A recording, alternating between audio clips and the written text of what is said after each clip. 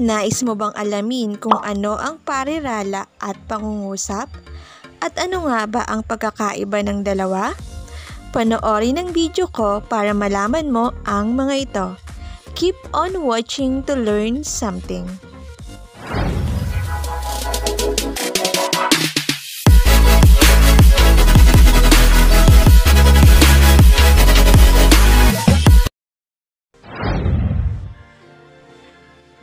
Kamusta mga bata? Naritong muli ang inyong teacher She para sa ating bagong aralin. Handa na ba kayo?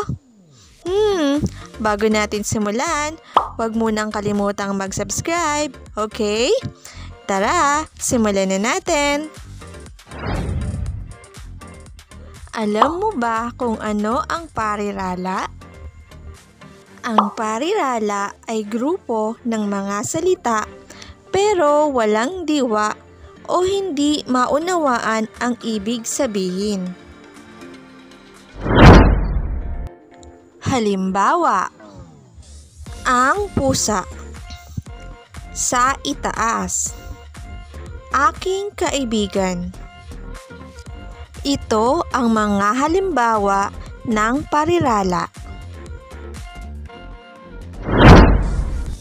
Ano naman ang pangungusap? Ang pangungusap ay grupo ng mga salita na may buong diwa. Ito ay nagsisimula sa malaking letra at nagtatapos sa bantas. Maaring tuldok, tandang pananong, o tandang padamdam. Halimbawa, si Arman ay masipag. Sino ang masipag? Tama, si Arman. Ilarawan mo nga si Arman. Tama, masipag. Mga bata, nauunawaan niyo ba ang mga grupo ng salitang ito? Tama, ito ay inyong nauunawaan dahil ito ay may buong diwa at ito ang halimbawa ng pangungusap. Pangalawa, saan ka pupunta? Nauunawaan niyo ba ito mga bata? Tama, dahil ito ay pangungusap na nagpapahayag ng buong diwa. Pangatlo, Yehey! Narito na ang tatay ko! Anong bantas ang ginamit sa pangungusap na ito? Tama, tandang padamdam. Dahil ito ay nagbibigay ng matinding damdamin dahil sa pag-uwi ng kanyang tatay.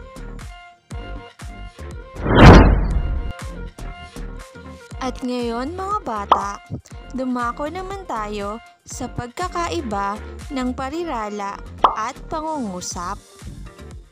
Ang parirala ay maikli lamang, samantalang ang pangungusap ay mahaba. Ang parirala ay nagsisimula sa maliit na letra, samantalang ang pangungusap ay nagsisimula sa malaking letra. Ang parirala ay walang bantas sa dulo, samantalang ang pangungusap ay may bantas sa dulo. Ang parirala ay hindi buo ang mensahe, samantalang ang pangungusap ay buo ang mensahe. Ang parirala ay hindi maintindihan ang sinasabi, samantalang ang pangungusap ay naiintindihan ang sinasabi. Ang parirala ay walang diwa o kahulugan, samantalang ang pangungusap ay buo ang diwa at kahulugan.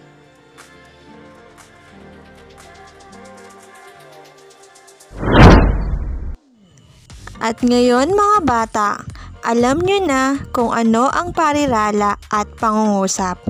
Kaya, subukan natin ang inyong natutunan. Isulat ang puso kung ang salita ay parirala at bituin naman kung ito ay pangungusap.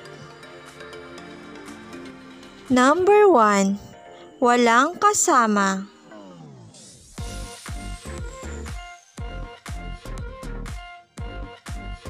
Tama, puso. Ito ay parirala. Number 2. Mabango ang bulaklak.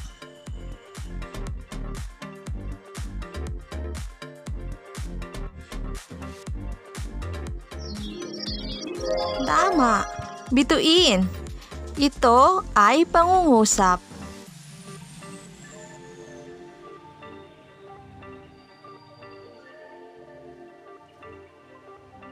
Number 3. Sabihin mo.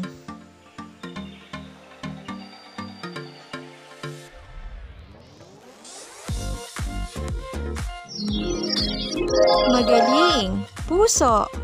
Ito ay parirala.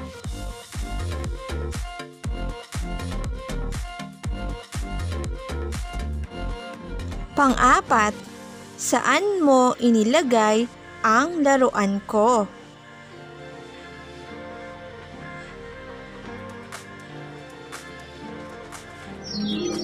Magaling!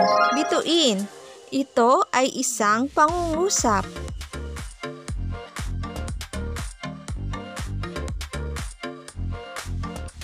Panglima. Wow! Ang dami ng chocolates na uwi ni tatay.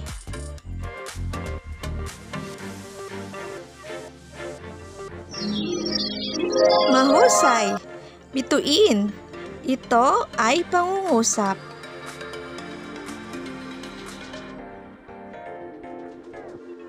Pang-anim. Iba't ibang pagkain.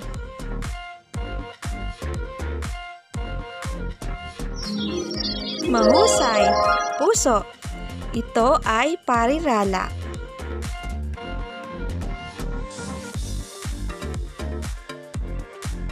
Pangpito. Naglalaro si Rylan ng volleyball. Mahusay. Bituin. Ito ay pangungusap. Ngayon, alam niyo na kung ano ang parirala at pangungusap. Huwag niyong kalimutang mag-subscribe. Thank you for watching. God bless us all. Paalam!